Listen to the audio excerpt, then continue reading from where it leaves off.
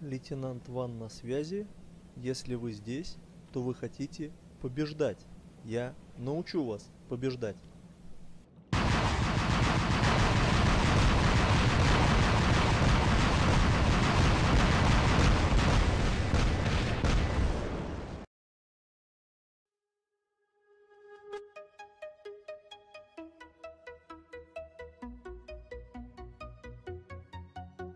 Формат, живой звук, игра взводом.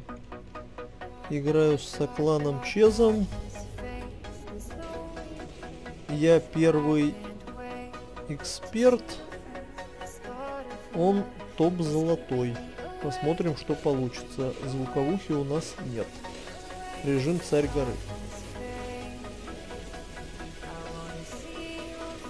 Итак, удачно начинаю, что и вам рекомендую. Захватываю на Кумиха центральный маяк. Обычно тот, кто заберет центральный маяк и удержит его достаточно долго, выиграет бой. Надеюсь, нам тоже повезет. Посмотрим. Кумиха погибает, но маяк забран. Теперь нужно как можно быстрее переместиться к следующему маяку. Чес идет туда же на грифе. У него роботы послабее будут. Но надеюсь он будет стараться. Так, хорошо. Первый маяк за нами, забираем второй.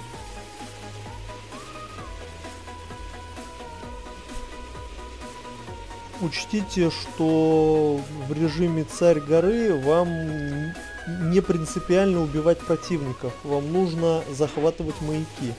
Делайте это в первую очередь. От противников отбивайтесь по необходимости, если они вам мешают. Также очень важно второй раз захватить центральный маяк, когда на него дойдет очередь. Тот, кто сделает это, скорее всего, победит гарантированно. Вот команда противника страдает фигней, они не захватывают маяк, находящийся у них на территории. Как видите, они запоздали и из-за этого потеряли часть очков. У нас уже явное преимущество. Попробуем не растерять его. Я двигаюсь к следующему маяку.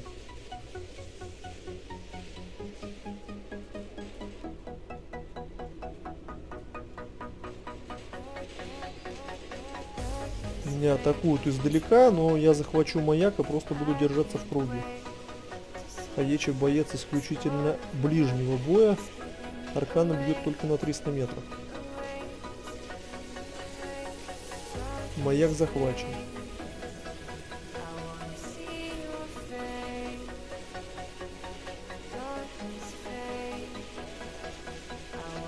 Отлично. Противник ведет себя пассивно и все больше увеличивает свои шансы на поражение. Так, маяк наш. Все очки с него забраны. Теперь противник захватит маяк на собственной территории и дальше битва произойдет за центральный маяк. Если удастся его захватить, то мы практически гарантированно выиграем. Сейчас не буду подпускать к нему противников. Ну, такие противники Хаечи на один зуб. Враги даже не захватывают маяк на собственной территории. Редкостная безалаберность. Но это их проблема. Лично нам нужна победа. Так, Ланцелот. Ну, был Ланцелот и нет Ланцелота. Кто там еще? Второй Ланцелот, а тут и без меня разобрались. Ага, Лео. Лео. Лео это много урона. Можно набить об него.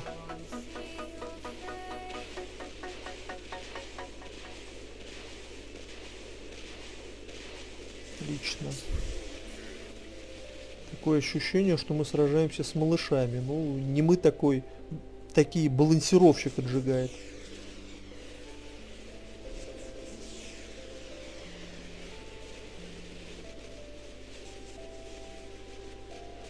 Господа противники, вы хоть свой бояк заберите. А, забрали.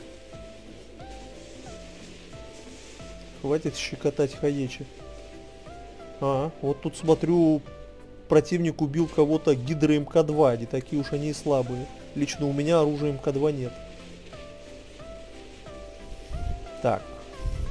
Очередь доходит до центрального маяка. Надо вымести отсюда Наташу. Наташа, уходи. Я не хочу с тобой дружить. Отлично, маяк захвачен, но осталось его удержать. Ну, каких-либо проблем я с этим не предвижу. Противник ведет себя крайне пассивно. Не делайте так. Сражайтесь до последнего. Ваша задача захватывать маяки. Ну, у нас уже огромное преимущество. По очкам. Ага. Привет, Соклану.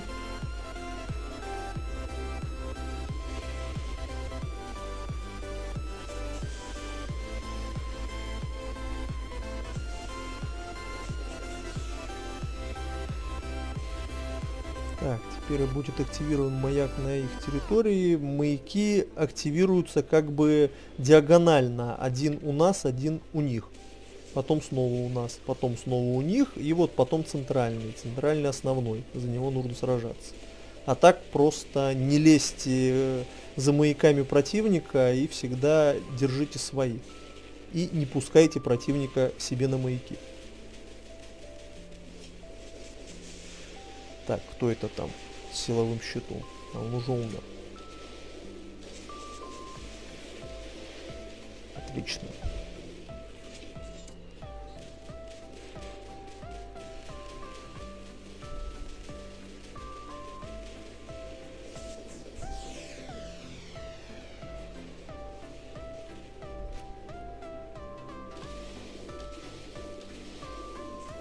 Сейчас уничтожают оружием Гекка, пытаюсь вспомнить, что это. Кажется, маленький лазер.